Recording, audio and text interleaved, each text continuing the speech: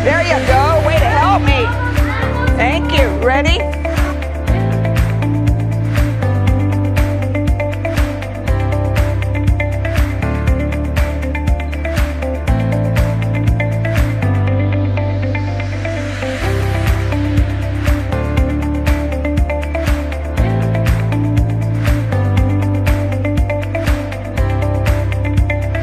Was great to see the smiles and just the laughter and see all the teachers and administrators welcoming everybody back to a new school year.